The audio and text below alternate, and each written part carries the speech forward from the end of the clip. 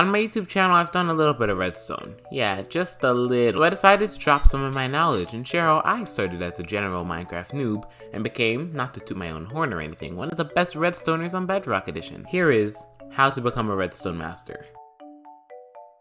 When I began dabbling with redstone, I gave myself very, very low expectations. Hello my friends and welcome to another brand new Minecraft Let's Play video. Now quick disclaimer, before I start the video, I am a little sick and I I didn't expect to magically build a 3x3 piston door or make a realistic elevator. I just made double piston extenders, little trapdoors, or on rare occasions even triple piston extenders, which were horrendous. So we press the button.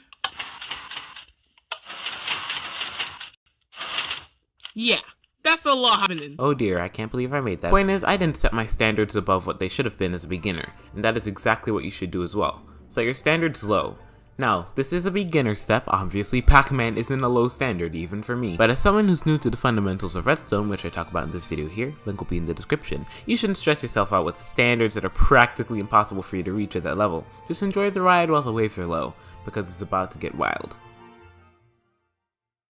After my initial I do funny double piston extender phase, I started stealing things, and you should do the same. Steal things from YouTube, or TikTok, if you want to go there. Whether it be a tutorial or a world download, and try to understand how it works. Now what you shouldn't do is make content on other people's content. That is just wrong, and you should never partake in such terrible but crimes. But Labster, you stole the bowtie man's redstone contraption before. Oh wait, Oh, no, no, I don't remember doing yes, that. Yes, you did, and he left an angry comment telling uh, you that you okay. committed a shut, crime. Shut up! Oh, I don't care, okay? I'm some nerve you have. Okay, so maybe all the history isn't the cleanest, but let me make the mistake for you, okay? It is not having fun having people mad at you for stealing their things and uploading them in worse quality. So step 2. Steal, but don't steal. Learn from other people's redstone, but don't pretend it's Imagine yours. Imagine being a hypocrite. That's it.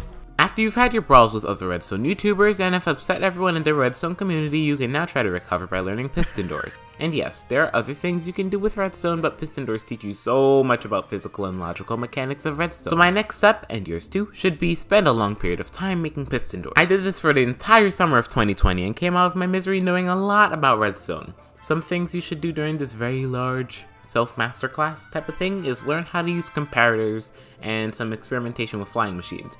All this knowledge accumulating in your brain is about to bubble up into some good use because here comes the choice. Choose. Choose what you want your major to be.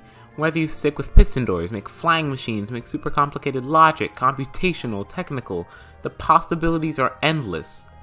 Think about it as a college major. You have basic skill sets like math, language, science, and history, but then you go for a major that you want to be your future career choice. The same applies to Redstone. You now have the basic knowledge of your components and how Redstone works on your version of Minecraft, so now you just have to pick what aspect of Minecraft's Redstone you want to expand on.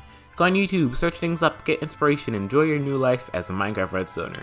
Hope you enjoyed my little crash course, it was pretty fun to make. Uh, please sub, and bye! Yes, do the haha funny sub.